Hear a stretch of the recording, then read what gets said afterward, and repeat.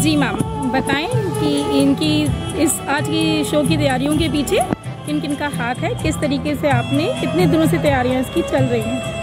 पहले तो मैं बताऊँगी कि मैं यहाँ पे पीजीटी कॉमर्स हूँ और मेरा नाम मुग्धा बेस्ट है।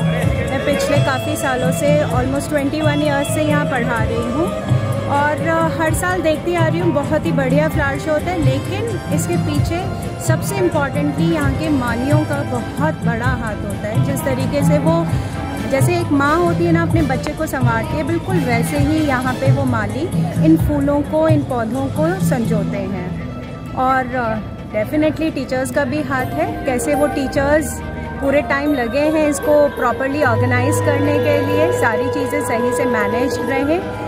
और सबसे ऊपर manager sir owner of the school उनके बिना तो कोई भी काम अधूरा है। Thank you thank you ma'am और मुझे भी मैं मेरा नाम मनीषा माहेश्वरी है। मैं एट प्रेजेंट बीबीएल में पीजीटी इकोनॉमिक्स के तौर पे काम कर रही हूँ। और मेरे हस्बैंड मिस्टर ममतेश माहेश्वरी इस प्रोग्राम के कन्वेनर हैं। और जो यहाँ का मेसमराइजिंग इफ़ेक्ट है हर साल हम इंतज़ार करते हैं इसका कि ये दिन आए और हम प्रकृति की गोद में आनंद उठाएँ। बहुत बहुत धन्यवाद आप सबका, जिन्होंने हमें यहाँ बुलाया और इस मौके का फ़ायदा उठा रहा थैंक यू मैम